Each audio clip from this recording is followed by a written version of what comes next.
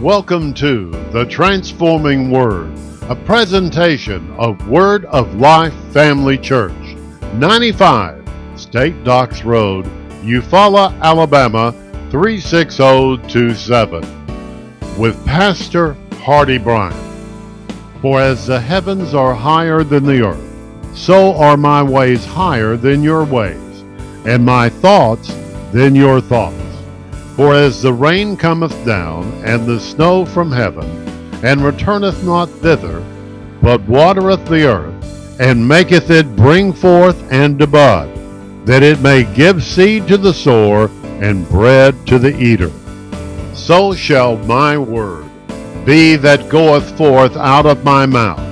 It shall not return unto me void, but it shall accomplish that which I please, and it shall prosper in the thing whereto I sent it. Welcome once again to the transforming Word. Hi there, I'm Pastor Hardy Bryan, pastor of Word of Life Family Church here in Eufaula. It's Sunday morning in Eufaula. It's time for the Word, time for Sunday morning service. Come on in with me and let's find you a good seat. And uh, while we're waiting for the others to arrive.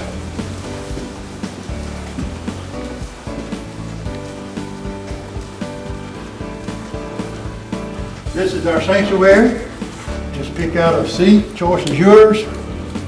And uh, stay with us for the transforming word.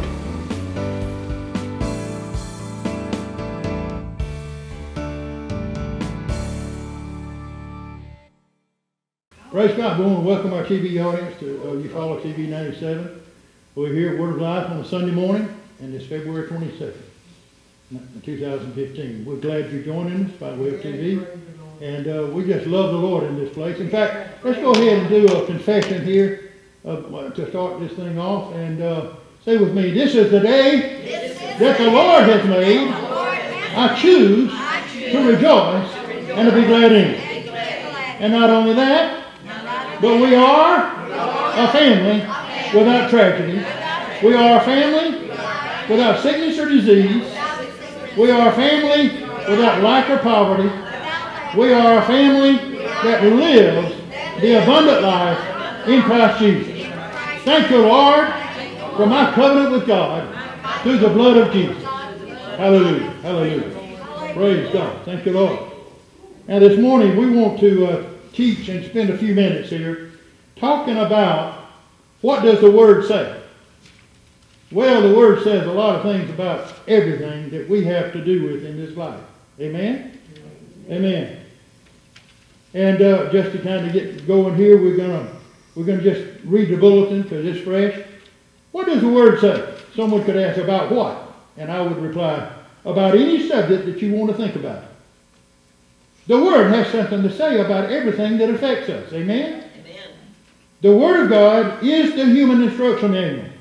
God loves and cares about all of us enough to give us a thick book of instructions. It's called the Bible. And this book is to help us along through life. In fact, God's idea is not that we just struggle along, but that we walk in a place of prosperity and good success in every area of our lives. Amen. God's for you and not against you. Amen. You could pick any subject you want to pick and find answers in God's Word concerning that subject. When we consult our instruction manual, we find answers that saves us a lot of time and heartache when you walk in light of the Word, folks, God just keeps you away from a lot of sorrows. Amen? Our redemption includes three main areas of our lives. It's uh, redemption from spiritual death, sickness and disease, lack and poverty. The first one, we are redeemed from spiritual death. That means that the one who accepts God's gift of salvation through the covenant purchased for us by the blood of Jesus then we can make certain that heaven is really our home for eternity. We are redeemed from sickness and disease. This means that by way of covenant, purchased for us by the stripes that Jesus bore just before the cross, He redeemed us from all sickness and disease. It is ours if we're born again and will believe it. See, a lot of born again people don't believe that, so they don't have that. A lot of people don't open their mouth about their personal testimony. And so they don't overcome. Because Revelation 12 11 says, they, they, the believers, overcame him, Satan, by the blood of the Lamb and by the word of their testimony. Amen. We need to make much of the blood. At the time when the world, the religious world, and various theologians and so forth are trying to stop references to the blood of Jesus as being holy blood, as being a cleansing blood, we need to intensify. We just need to double up on talking about the blood of the Lamb. We sang that song. Worthy is the Lamb. Oh, he is worthy. Worthy is the Lamb that was slain from the foundation of the world. Why? Because of our sin. God had to establish. God needed to establish, and He wanted to establish. He desired to establish a covenant with His man. Even though His man had sinned, He wanted to establish a covenant so that could be renewed. Because a covenant is a covenant between two parties. God offers the covenant, but it must be accepted by the hearer. See, I was in the insurance business for a long, long time. I trained salesmen to sell insurance. I was in sales management for over 30 years. There has to be, in order for a contract to come into existence, there has to be an offer and there has to be an acceptance. Our covenant with God is the same way. God has offered us a covenant of peace, joy, health, riches, wealth, and happiness. But we have to take some action and accept the covenant, the offer that God has made. We have to embrace it and get excited about the fact that He even offered it to us. And then when we accept it, it is confirmed. And we enter into that. Now, this covenant that God has offered is not a short term contract. It's not a contract that God will break. It is an eternal covenant. It's like this ring on my finger. That's a symbol of the covenant with the woman that God gave me, which we're coming up on almost 49 years of marriage. And I asked her this morning as we backed out of the driveway. I said, honey, I said, why do you think we've been able to stay together for almost 49 years? And she said, Love. I said, What about the times when everything wasn't so lovely? and she laughed. She said, Covenant. I said, That's exactly right. Marriage is not a bed of roses. There are times when you have disagreements. Hopefully you don't ever get into a place where you start fighting one another physically, but a marriage is a thing that has to be worked out. It's not a 50-50 agreement. It's a 100-100. Both parties having to give 100% to make it work. Divorce is 50-50. Marriage is 100-100. Amen. Amen? Amen. You say, now you quit preaching started marriage. No, no. A covenant means that both parties are absolutely committed for this thing to last and never be broken. Amen. That's what covenant is. God has made covenant with us, and it's an everlasting covenant. Everlasting. We can depend on God. No matter, I mean, just like I pointed out earlier about the uh, covenant that God made with Adam. As soon as he had pronounced the curse, he turned right around in the 21st verse of that chapter 3 and uh, uh, covered them and clothed them with animal skins. Well, he had to kill the animal and the blood had to be shed in order for that to be established. So he created a covenant with Adam. And then right after that, even though he had made covenant with him, he drove him out of the garden not for punishment, but for the love of Adam, lest he eat of the tree of, of life and live forever in that, that, that bad state. Yeah. But he was still in covenant. Covenant doesn't mean that everybody does everything exactly right. But it means that when covenant is established, he'll never leave you and he'll never forsake you. Amen. Praise God. He's a loving God. He's a forgiving God. He's a merciful God. Amen. Oh, but you know, I might do something wrong. You will do something wrong. But you have to say, because of the blood, the blood is more powerful than the stain of that guilt. Amen. Say it with me. The blood, the blood is more powerful, more powerful than the stain of that guilt. See, if it wasn't, then the blood couldn't cleanse it. But it continually, over in uh, First John, it says that the blood of Jesus continually cleanses us from all unrighteousness. We have to have faith in the power that's in the blood. There is power in the blood. Wonder working power in the blood of the Lamb. Amen. Glory to God. Hallelujah. And we got to have faith in that. Faith in that. Say the blood of, the blood of Jesus is more powerful than sin's power. In fact, his blood has redeemed us from all sin, past, present, and future. Hallelujah. Hallelujah. We are redeemed from sickness and disease. This means that by way of covenant, everybody say covenant, purchased for us by the stripes that Jesus bore just before the cross, redeemed us from all sickness and disease. It is ours if we are born again and believe it. Amen. The problem is a lot of Christians don't believe that and they're sick. Well, there again, it's a provision of the covenant. If, if he offers you a covenant free from sickness and disease, and you say, well, I don't know whether that's true or not, I don't know, and you don't come into agreement with it, you haven't accepted the offer.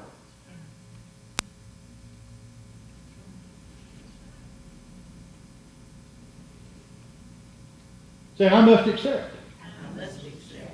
The offer, the offer of the covenant of healing, the covenant of health, and believe that what God has offered me, He's absolutely able to perform it. So therefore, so therefore, I'm not sick. I'm not sick. Going somewhere trying to get healed. No, I'm the healed of the Lord. And the enemy is trying to take my health. But I have power over all the power of the enemy. And nothing shall by any means hurt me. So I'm free from sickness and disease by way of covenant. Praise God. Hallelujah. Glory to God. We're redeemed from lack and poverty. This means that God has made covenant with us that guarantees our success and prosperity. If we believe that the covenant is real and that we ratify it with the words of our mouth. Now, a lot of people say, well, you know, it's wrong to have anything. You know, uh, the Lord wants us to be poor, so we'll stay humble. I, I know some people that don't have much that are full of pride. They're not humble people. Really, the, the, the, the meaning of meekness, which is a, a form of humbleness, is power under control. Power under control. Now, God wants us to be humble, yes. Look into Him, the author and finisher of our faith. Jesus is the author and the finisher of our faith. But He does not want us to be somebody's doormat either, Amen. especially Satan's whom he has already whipped in the dark region of hell, and rose triumphant over hell, death, and the grave, triumphing over Satan and all of his so-called ability to keep him from arising from the dead. Amen. Think about it. If Jesus could die for our sin, pay the penalty for our sin, go to hell itself, and be uh, uh, down in that region where Satan thought that he had him, and all the imps of hell thought that they had him, had him, and was laughing in hellish glee, while Jesus was paying the fullness of the price for our sin, until the supreme court, justice of the universe, the Father Himself, said, "It's enough." Yes. The penalty for all sin has been paid. Holy Spirit, go get my son. Holy Spirit said, I was just waiting to get the command. He went down there and quickened him, made him alive. Yes. See, Jesus died not only physically, but he died spiritually. Because the Bible says that, that, that he tasted death That Hebrew word is, is, is, is a word that means plural death. There's only two deaths that I know about, and that is physical death and spiritual death. He suffered spiritual death, but whenever the Holy Spirit went down there, whenever that had been paid, why? Why, why did he have to do that, Brother Hardy? Because the Bible says in Romans 3, uh, actually Romans 6, 23, it says the wages of sin is death. But the gift of God is eternal life through Christ Jesus, our Savior. So what does that say to you? It says, we have sinned. Romans 3.23 said all have sinned and come short of the glory of God. So all of us have sinned.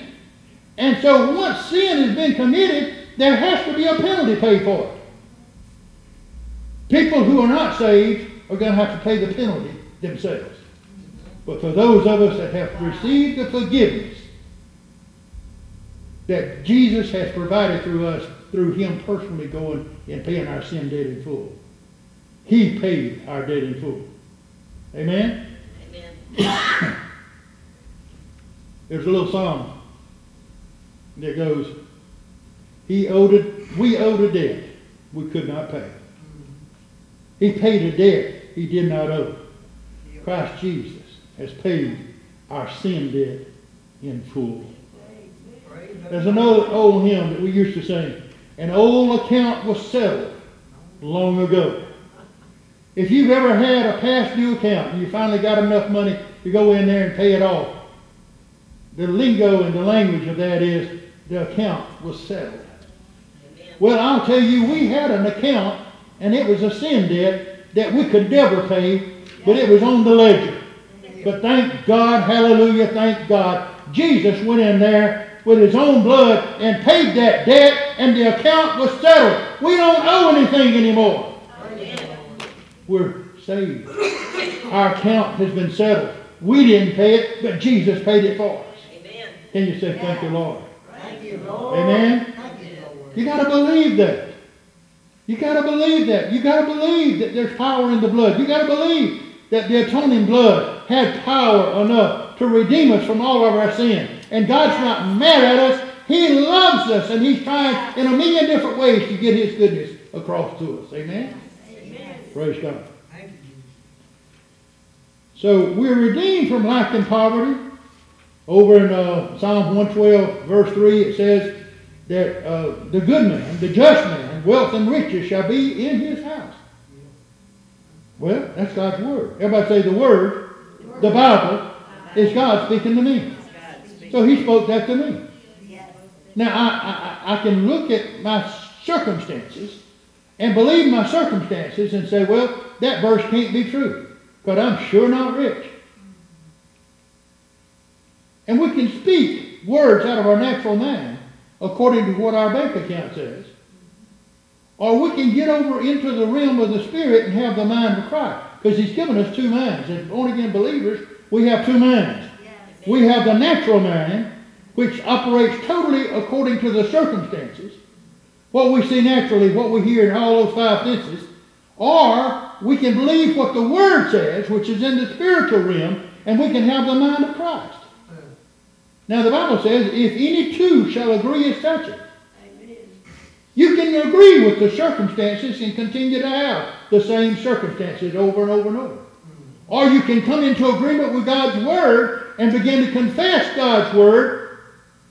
See, it's important. It, it, in fact, it's critical that you absolutely believe what God's Word says is so true until you begin to speak what the Word says rather than what the circumstances are.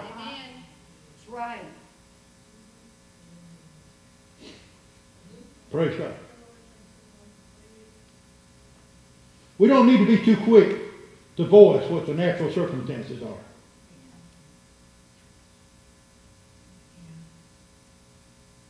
Well, you got this bill coming up and you don't have money in the bank. Your check register says there's not enough money. It's screaming. There's not enough money in the account to pay that bill that's due. Need I remind you over in 1 Kings chapter 17. There was a widow woman there. She only had a little handful of meal. It was screaming. It's not enough to sustain us.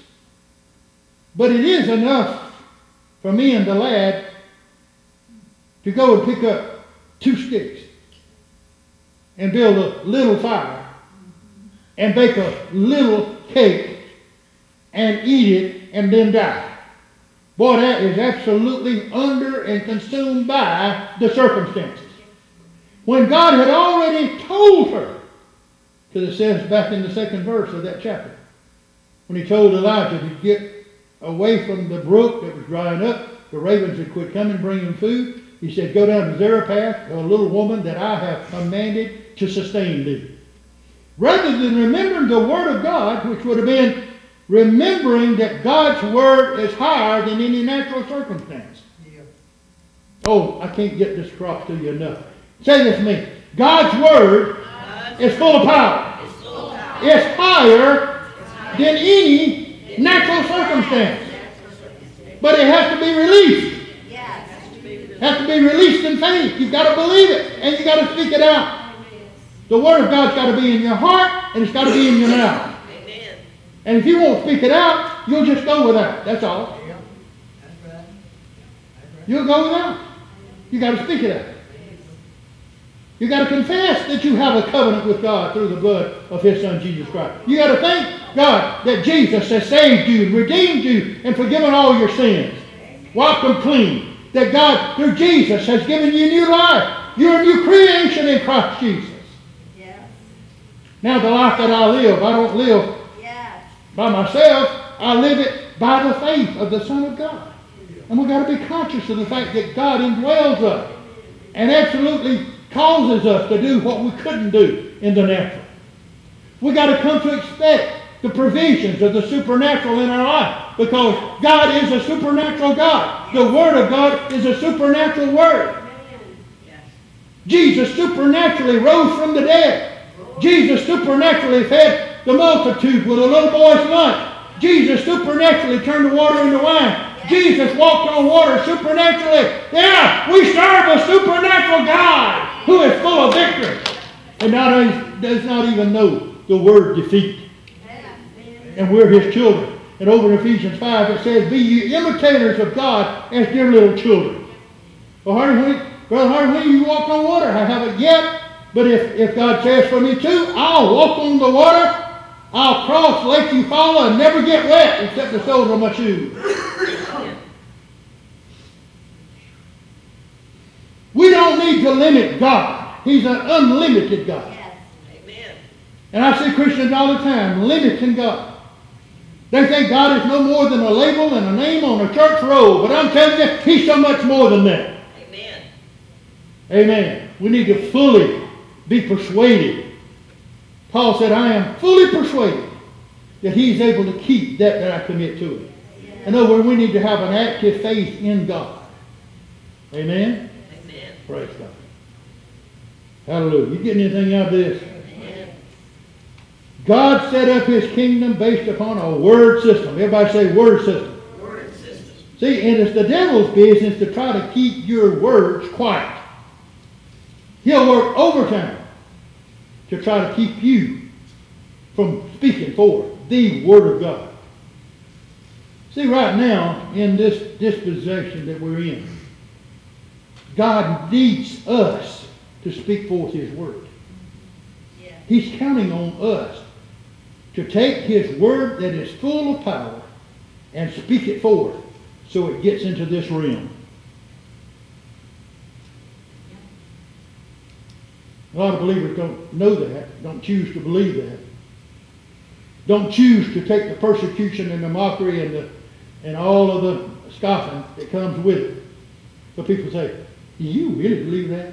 I was talking to a man a few years ago and I was sharing this. He said, Brother do you really believe that? I said, Of course I believe that. That's what the Word says. I wouldn't be telling you that that's what I believe unless that's what I believe. Oh, but you know, like try to minimize it, try to make it small. Listen, whenever I had the mass in my right lung in 1981, The doctors confirmed and the x-rays and the tomograms and all of that confirmed that it was there. The CAT scan revealed it was there. Jackson Hospital didn't have a way to do a CAT scan in 1981. They sent it over to St. Margaret's in Montgomery. And, and to, to do a CAT scan to prove that it was there. It was there. But the Word of God in my mouth, after my sister brought me that book, and I got a hold of Isaiah 53 5, that says, He was wounded for our transgressions, He was bruised for our iniquities, the chastisement of our peace was upon Him, and with his stripe I am healed. And I realize that if the Word of God says I'm healed, then regardless of the circumstances, what it looks like or what it feels like, then I'm healed. And when I took that position within 24 hours, God gave me physical movement in my chest, let me know He took that mass out of there. And the next week it was confirmed by the doctors, the very doctor the internal medicine doctor, and the surgeon that was going to do the surgery confirmed that it was no longer there. They said it was there and now it's not. Hallelujah! Praise God! That's the power of God's spoken word if it's believed in the heart. Yes. Praise God. So the blood of Jesus. So he sent his word and he healed them and delivered them from all their destructions. He sure did me. Psalm 103.20. There are three elements to this one, the Word came. We know that Jesus is the Word. He came to this earth. Number two, we have to believe the Word. Not just token expression. We have to believe it with every fiber in our being. And then number three, we have to make it operative in our lives by speaking exactly what the Word says. Four, we have to do it or, in, or walk in the light of it every day. Do it means that you take the Word, take the Word of God, like you would a recipe for a good chocolate layered cake. You take that, and the next time the recipe calls for something, you look at the recipe, and then you do it. And then you look at the recipe for the next step, and you do it. And you look for the next, and you do it. That's why we need to take the Word. The Word says, do this, do it. Do this, do it. Do this, do it. And when you, when you make that cake according to the recipe, you'll finish up with a nice cake that you can't hardly wait to get cool so you can put the knife to it and enjoy it. That's the way God has created covenant with us. Take my instruction manual, take my recipe, and read it and do it. Read it and do it. Read it and do it and then enjoy the abundant life that I have given you, uh, that I made available to you at no small price. I made it available at the price of the precious blood of Jesus. Now, let's, let's get into some word real quick here. I want you to go with me to 1 Peter chapter 1. And for a few minutes, we're going to look at the Word, what the Word says. Because you can't get better than the Word.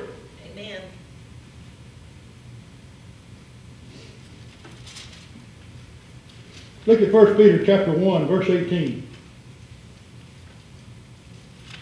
Say amen when you get there. Amen. For as much as you know that ye were not redeemed with corruptible things, such as silver and gold, from your vain conversations, received by tradition from your fathers. Verse 19. But with the precious blood of Christ, as of a lamb without blemish and without spot. Then it says down here in verse 23, being born again, not of corruptible seed, but of incorruptible by the word of God, which liveth and abideth forever. It's saying, and Jesus said of himself, he said, no man can go to the Father except he come by me.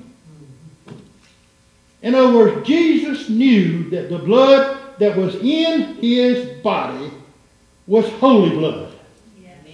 He knew that that blood that was going to flow from his veins would be the, the, the source of the redemptive power that he had brought to the earth that would save the whole world. By the Holy Ghost, John the Baptist, baptizing people in the River Jordan, looked up and saw Jesus coming, and he made a declaration. He made a prophetic word. He said, Behold the Lamb of God, who taketh away the sin of the whole world. Now, how can Jesus take away the sin of the whole world? By becoming the blood sacrifice that was powerful enough to redeem a man from all of his sins. We saw earlier in, in, in, Genesis chapter 3, verse 21, where as soon as the curse had been pronounced upon Adam and Eve, in verse 21, he covered Adam and Eve. They were covered in fig leaves. He took the fig leaves off and he gave them coats of skin. And in order to get the skin, the animal had to lose its life. That was the establishing of the covenant of God with Adam. And then the next thing he did was he drove him out of the garden. Not because he was punishing him, but because he loved them. He did not want them to eat of that forbidden tree. A tree of life. God wants every man, every woman, every boy, every girl saved. He does not want people unsaved. He wants them saved. And that's why Jesus came. Jesus came to seek out and to save that which was lost. I want to I want to read something here very quickly. Praise God, I can find it.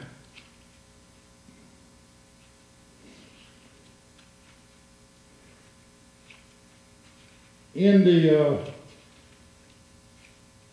book, The Blood Covenant by E.W. Kenyon, it says that uh, Stanley was a missionary and went to Africa, and he saw the tribes over there, and, and almost all the primitive tribes of the world have practiced some sort of blood covenant with one another. They, they will slit a vein, cause it to bleed. They'll drip it in a glass of wine, each one of them, and one will drink half of it and the other drink half. And then they'll put their wounds together and they have cut covenant. And the covenant in those tribes is sacred. I mean, I mean, they'd rather die than to break the covenant. And he talks about the sacredness of the blood covenant. He says, Mr. Stanley said he never knew this covenant would be broken in Africa. Now we've got to remember that God created covenant with us through the blood of Jesus. And we need to count it as a sacred thing because God does. Mr. Stanley said he never knew this covenant would be broken in Africa, no matter what the provocation. In other words, once it was established, no matter what they did, they would not break the covenant. Dr. Livingstone also bears witness saying that he never knew it to be broken. In other parts of the world, it is claimed that they never knew the blood covenant would be broken. It is one covenant that is perfectly sacred among all primitive peoples. I tell you, that's the reason why missionaries can go over with the good news of the gospel and preach the gospel of the blood covenant yeah. and the people in third world countries where they have already been practicing a blood covenant. They embrace it, receive it, and believe it, and miracles take place by the multitudes because they gain an understanding and a faith in the covenant process, the table of the Lord. In Africa, if one was to break the covenant, his own mother or wife or his nearest relatives would seek his death and turn him over to the hands of the avengers for destruction. No man can live in Africa who breaks the covenant. He curses the very ground he walks on. The vilest enemies become trusted friends as soon as the covenant is cut. I mean, they can be mortal enemies, but they cut that covenant, and now they die for one another. It is so sacred, no man takes advantage of the covenant or breaks it. It is so sacred that the children to the third and fourth generation revere it and keep it. In other words, it is a perpetual covenant, indis- indissoluble, a covenant that cannot be annulled. A covenant that cannot be annulled. Praise God. I've got one other. Praise God. Blessings of the covenant. As blood covenant people, must be kept in fellowship with the blood covenant obligations and privileges. And the blessing, God was under obligation to shield them from the armies of the nations that surrounded them because of covenant. God was under obligation to see that their land brought forth large crops. Now you say, because of the covenant. Everybody together, because of the covenant. Because of the covenant. God was under obligation by the covenant to see that the herds and flocks multiplied. Because of the covenant. The hand of God was upon them in blessing. Because of the. They became the head of the nations and of wealth. Because of the. Jerusalem became the richest city the world had ever known. Their hillsides were irrigated. Their valleys teemed with wealth. Because of the. There was no city like it. Because of the covenant. There was no city like it. Because of the covenant. No nation like it. Because of the covenant. God was their God. They were God's covenant people. Because of the covenant. Under the covenant, one man could chase a thousand in war, and two could put ten thousand to flight. Because of the covenant. In David's day, when covenant truth became a living force in the nation, David had blood covenant warriors that could individually slay 800 men in a single combat. Because of the covenant. They could, without weapons, rend a lion as though it had been a kid. They had physical strength and prowess. They had divine protection that made them the greatest warriors the world ever knew. They were God's peculiar people. They were the treasure of the heart of God. Come on, folks. Let's not be passive about this. Let's be enthusiastic and excited. God has given us His covenant. Amen. And it's an everlasting covenant. It will never end. All we got to do is ratify it. That's right. Amen. Praise God. There's one other area I wanted, if I can find it real quick. Praise God. Hallelujah. Hallelujah. Hallelujah. Glory to God. Glory to God. Praise God. Thank you, Lord Jesus. Yes. Thank you, thank you, Lord. Hallelujah.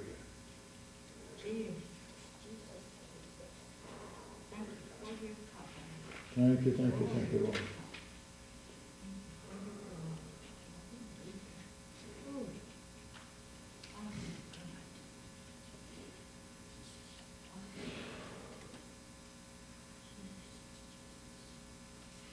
In Exodus 2, when God heard the groanings of Israel in Egypt, he said that he remembered his covenant that he had made with Abraham, Isaac, and Jacob.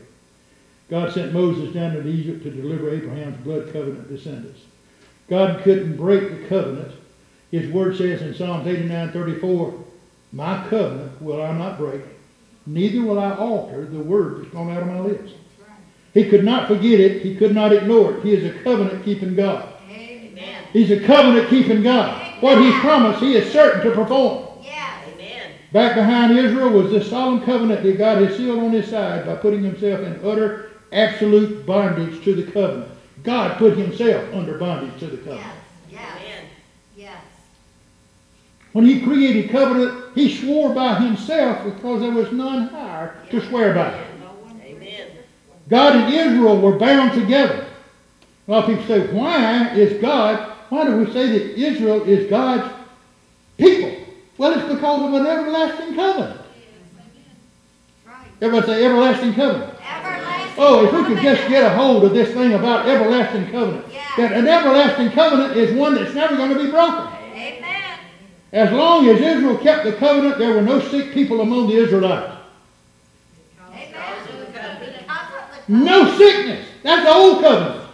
We got a new covenant Yes. based on better promises, guaranteed by the blood of Jesus. As long when he said, "I am Jehovah," that he did that settled it. Jehovah was our only physician. He was not, he was not only their physician, but he was their succor. He was their protector. Excuse me. Yes. There was never a barren wife. No babies ever died. Uh-huh. No young men and women ever died unless they broke the covenant. As long as they kept the covenant, there were not allied armies enough in the world to conquer one little village. Because when you're in covenant and you have faith in that covenant, God is the one they've got to overcome. Amen. They couldn't even promise, they couldn't even overtake one little village because God was the one they were fighting against. Amen. Now get this. In battle, no soldiers were slain. None. None. They were blood covenant men. Moses led them out of Egypt into a barren desert, comparable to our own Mojave Desert. And on the ground of the covenant, God supplied them with water for themselves and their cattle, and manna for the people. And I might add, it was the old covenant. We got a new covenant based on better promises, guaranteed by the blood of Jesus. When they came out of Egypt, it was the signs and wonders that staggered the whole world at the time, and had been the wonder and amazement of the world ever since, because no country had ever been brought out like that. It was a supernatural thing brought about by God, and it was because of. God preserved them as a nation because they were His covenant people. When they sinned and broke the covenant, they were carried away into captivity and into Babylon. They had sinned against the covenant.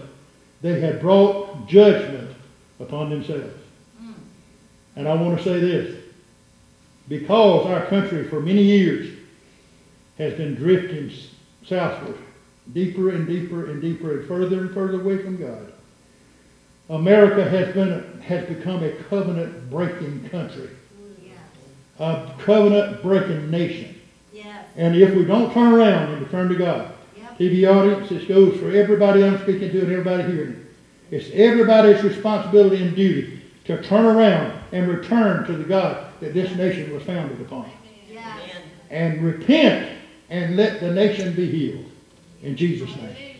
A covenant God will honor his covenant, but it has to be ratified, it has to be accepted by the people in order for it to be in full force. Now, under covenant, we're more than conquerors. Outside that covenant, we're defeated. But in God, hallelujah. Oh, they've even tried to take in God we trust off of our money, trying to erase the even memory of God. It says, we don't want to be in covenant with you anymore. We want to do it our way. But God says, as long as you're in covenant with me, I'll be your protector, I'll be your healer, I'll be your provider, I'll be your deliverer, I'll be everything that you need me to be because I am that I am. I'm the great God Almighty. Hallelujah. Praise God. Did you get anything out of this? Wish we had more time, but we're out of time. Praise God. TV audience, write us, call us, text us, do something to let us know that you're watching. And uh, we just we have some books that we'd like to send to you, a book, uh, and and other books maybe. And just just write us let us know that you watched the program and that you enjoy it and want to uh, want to know more about us, and we'll be glad to provide that. Thank you for tuning in. Let's let's do our confession at the close here. We are a family without tragedy, a covenant family, the covenant family of God. A family without sickness or disease. a family. A family without lack and poverty. A family that lives the abundant life in Christ Jesus. Hallelujah. Hallelujah.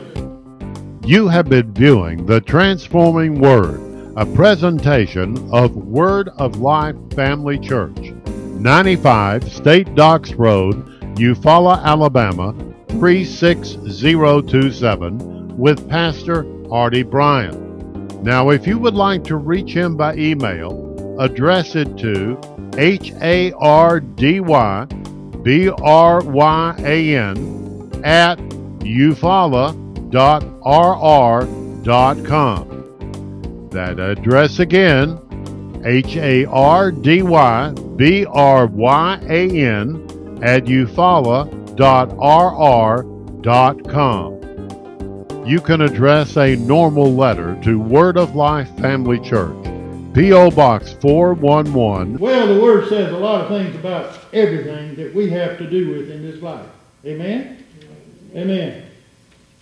And uh, just to kind of get going here, we're gonna we're gonna just read the bulletin because it's fresh. What does the Word say? Someone could ask about what, and I would reply about any subject that you want to think about. The Word has something to say about everything that affects us. Amen. Amen. The Word of God is the human instruction manual. God loves and cares about all of us enough to give us a thick book of instructions. It's called the Bible. And this book is to help us along through life. In fact, God's idea is not that we just struggle along, but that we walk in a place of prosperity and good success in every area of our lives. Amen. God's for you and not against you. Amen. You could pick any subject you want to pick and find answers in God's Word concerning that subject. When we consult our instruction manual, we find answers that saves us a lot of time and heartache. When you walk in light of the Word, folks, God just keeps you away from a lot of sorrows. Amen? Our redemption includes three main areas of our lives. It's uh, redemption from spiritual death, sickness and disease, lack and poverty. The first one, we are redeemed from spiritual death. That means that the one who accepts God's gift of salvation through the covenant purchased for us by the blood of Jesus, then we can make certain that heaven is really our home for eternity. We are redeemed from sickness and disease. This means that by way of covenant, purchased for us by the stripes that Jesus bore just before the cross, He redeemed us from all sickness and disease. It is ours if we're born again and will believe it. See, a lot of born again people don't believe that, so they don't have that. A lot of people don't open their mouth about their personal testimony, and so they don't overcome. Because Revelation 12 11 says, they, they, the believers, overcame him, Satan, by the blood of the Lamb and by the word of their testimony. Amen. We need to make much of the blood. At the time when the world, the religious world, and various theologians and so forth are trying to stop references to the blood of Jesus as being holy blood, as being a cleansing blood, we need to intensify. We just need to double up on talking about the blood of the Lamb. We sang that song. Worthy is the Lamb. Oh, he is worthy. Worthy is the Lamb that was slain from the foundation of the world. Why? Because of our sin. God had to establish. God needed to establish, and He wanted to establish. He desired to establish a covenant with His man. Even though His man had sinned, He wanted to establish a covenant so that could be renewed. Because a covenant is a covenant between two parties. Yes. God offers the covenant, but it must be accepted by the hearer. See, I was in the insurance business for a long, long time. I trained salesmen to sell insurance. I was in sales management for over 30 years. There has to be, in order for a contract to come into existence, there has to be an offer and there has to be an acceptance. Our covenant with God is the same way. God has offered us a covenant of peace, joy, health, riches, wealth, and happiness. But we have to take some action and accept the covenant, the offer that God has made. We have to embrace it and get excited about the fact that He even offered it to us. And then when we accept it, it is confirmed. And we enter into that. Now, this covenant that God has offered is not a short term contract. It's not a contract that God will break. It is an eternal covenant. It's like this ring on my finger. That's a symbol of the covenant with the woman that God gave me, which we're coming up on almost 49 years of marriage. And I asked her this morning as we backed out of the driveway. I said, honey, I said, why do you think we've been able to stay together for almost 49 years? And she said, love. I said, what about the times when everything wasn't so lovely? And she laughed. She said, covenant. I said, that's exactly right. Marriage is not a bed of roses. There are times when you have disagreements. Hopefully you don't ever get into a place where you start fighting one another physically, but a marriage is a thing that has to be worked out. It's not a 50-50 agreement. It's a 100-100. Both parties having to give 100% to make it work. Divorce is 50-50. Marriage is 100-100. Amen. Amen? Amen. You say, now you quit preaching started marriage. No, uh. A covenant means that both parties are absolutely committed for this thing to last and never be broken. Amen. That's what covenant is. God has made covenant with us, and it's an everlasting covenant. Everlasting. We can depend on God. No matter, I mean, just like I pointed out earlier about the uh, covenant that God made with Adam. As soon as he had pronounced the curse, he turned right around in the 21st verse of that chapter 3 and uh, uh, covered them and clothed them with animal skins. Well, he had to kill the animal and the blood had to be shed in order for that to be established. So he created a covenant with Adam. And then right after that, even though he had made covenant with him, he drove him out of the garden not for punishment, but for the love of Adam, lest he eat of the tree of, of life and live forever in that, that, that bad state. Yeah. But he was still in covenant. Covenant doesn't mean that everybody does everything exactly right. But it means that when covenant is established, he'll never leave you and he'll never forsake you. Amen. Praise. Praise God. He's a loving God. He's a forgiving God. He's a merciful God. Amen. Oh, but you know, I might do something wrong. You will do something wrong. But you have to say, because of the blood, the blood is more powerful than the stain of that guilt. Amen. Say it with me. The blood The blood is more powerful is more powerful than the stain of that guilt. than the stain of See, if it wasn't, then the blood couldn't cleanse it. That's right. But it continually, over in uh, 1 John, it says that the blood of Jesus continually cleanses us from all unrighteousness. Amen. We have to have faith in the power that's in the blood. There is power in the blood. Amen. Wonder working power in the blood of the Lamb. Amen. Glory to God. Hallelujah. And we got to have faith in that. Faith in that. Say the blood of, the blood of Jesus is more powerful is more powerful than sin's power. than sin's power. In fact, His blood has redeemed us from all sin, from all sin, past, present, and future. past, present, and Hallelujah. Hallelujah. We are redeemed from sickness and disease. This means that by way of covenant, everybody say covenant, purchased for us by the stripes that Jesus bore just before the cross, redeemed us from all sickness and disease. It is ours if we are born again and believe it. Amen. The problem is a lot of Christians don't believe that and they're sick. Well, there again, it's a provision of the covenant. If, if he offers you a covenant free from sickness and disease, and you say, well, I don't know whether that's true or not, I don't know, and you don't come into agreement with it, you haven't accepted the offer.